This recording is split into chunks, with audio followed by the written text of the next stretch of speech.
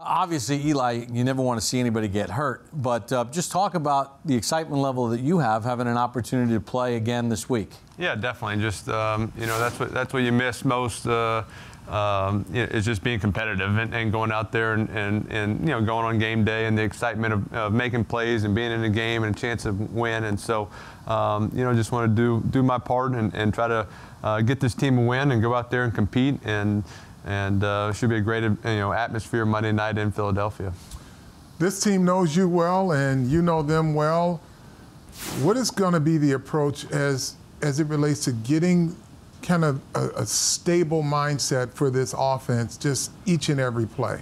Yeah, I mean, I think it's just uh, you know we just got to stay. Um, you know, just stay within the game and just, you know, try to get positive plays and try to, um, you know, be able to run the ball, get, you know, just stay in good down and distance, stay out of the third and longs always, but, you know, also, you know, take, take your shots and, and um, try to uh, use all our weapons and, um, and, and see if we can hit some of those big plays.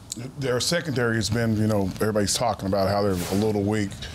Talk about your preparation for getting ready for a team like that that seems like they have a few holes, but their front is still good. Yeah, obviously their front is, is very talented. They do a good job uh, stopping the run, not letting a whole lot of teams uh, run on them. They load the box up and, and you know kind of um, make you throw the ball on them. And so our outside guys got to make plays. They got to get separation and, and, win some of those one-on-one battles. It's a lot of man uh, coverage. You know, be prepared for that and you know take your shots and and um, you know kind of have that aggressive uh, approach. And um, but you know you also got to block them up and, and you know keep them from making the big plays also.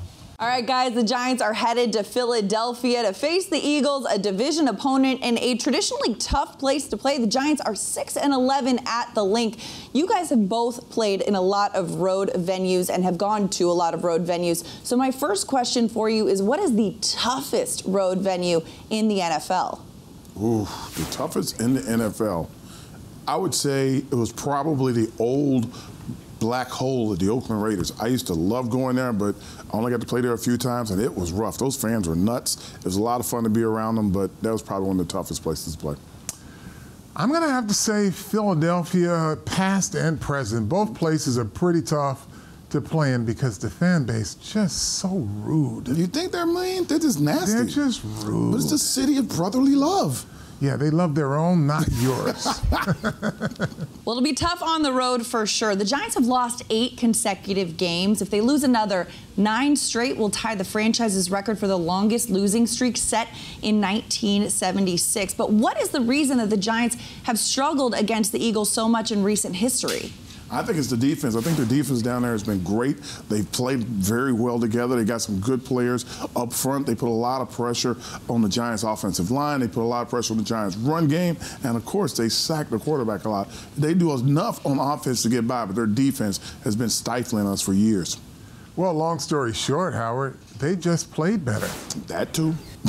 Carl, we're going to start with the Philadelphia Eagles offensively, and they've always used the tight end, whether Andy Reid was there or now Doug Pederson. Well, and in this instance, Bob, it's a dual threat. Number one, you've got their their guy who is the quarterback's best friend in terms of targets.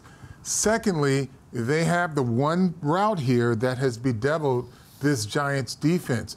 Here you see them in a bunch formation, and it's just a, a spray basically, and it's a two-way crossing route. So here's where the Giants have always struggled all year, Bob, is with crossing routes. How do you defend a crossing route? So you got one here and you got one here.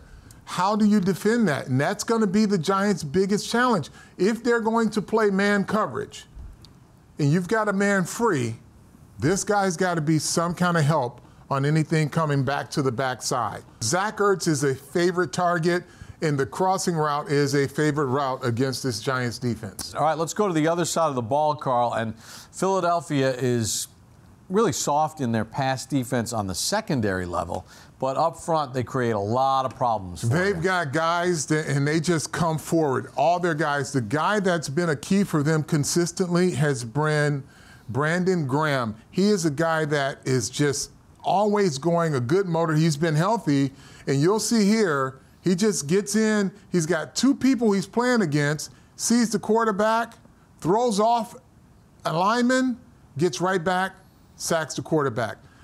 Great energy, very, very tough player. You know the opponent well, they know you well. Aggressive team, not giving up a lot in the run game. What will be the key to balance and trying to get the offense on track consistently? Well, I think we got to do what we did last year against them. We got up 19 to nothing early in the game, and we we were aggressive running the ball. We were aggressive throwing the ball. We've got to be very aggressive. We understand it's important to block their front, but uh, that just doesn't mean throwing the ball down the field, but aggressive in our approach. So, uh, running the ball, we got to make yards. Uh, Saquon's got to run like he did last week. I thought it was much, much better in terms of having an impact on the game. And then when we throw the ball, we got to hit on him. This is your first year with the Giants, but the Giants Eagles rivalry is about as hot and heavy, the turnpike tussle, as Yeah. people like to call it. What have your teammates told you to expect in this Monday night game? Uh, one funny thing they always talk about is be all type of, from kids to old ladies out there yelling and, and yelling at you and telling you the Eagles better than your team. So it's, it's exciting. I played out there once before, so I know how crazy it can get. But I live for games like that, man. It's, it's even more of a motivation to get out there and, and get this team another win for us and get a win in our category because we need it and uh, it'll help us get out there and be motivated.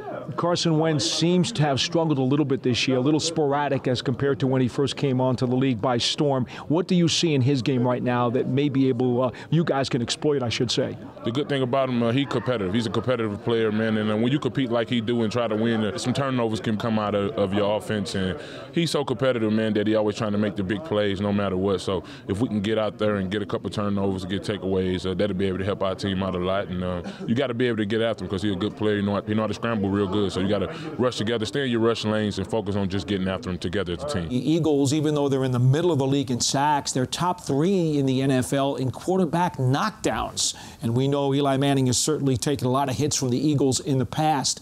So, do you think about using some more max protection in passing situations? Well, if he's going to throw from the pocket, I would think about using max protection. But I also think that they should move the pocket or let him do some boots and throw on the run just to just to confuse the uh, the Eagles defense. Hey Giants fans, Saquon Barkley here. You want to see more videos? Subscribe below.